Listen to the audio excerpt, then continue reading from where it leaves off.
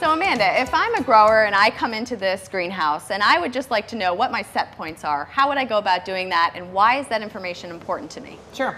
So real easy, you can walk up to the controller and see what's happening in the current time period. Right now we happen to be here at 10:30 in the morning. That happens to be day mode. Yep. And you can see that the temperature in the greenhouse is 74, heating is 60, cooling is set at 70, the current humidity is 65%, and it's set at 80%. Okay. So right away you know exactly what your daytime set points are. Okay. But if you're not sure what you have otherwise, because you do have two other time periods, it's real simple.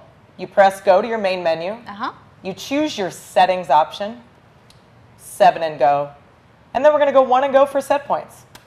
And now you can see that your daytime setting is actually starting with sunrise. It Yeah. is 60 and 70 as we saw it on the front screen. Uh-huh. The nighttime is starting at sunset, which makes sense for most growers. Yep. And they happen to like it a little bit cooler at night, so they want 58 and 72. And right now at this particular time of the year, they're not using the diff setting, but it is available. And I think those are awesome settings because they're not using a ton of energy. They're not driving their equipment uh, to the brink. So they've obviously got some great crop quality out of this, Great. and they know exactly what they're doing. And obviously all this can be manipulated at any point in time depending on the season or Absolutely, variations. or crop changes. You bet, you bet. Very Great. easy. Thank you so much. You're welcome.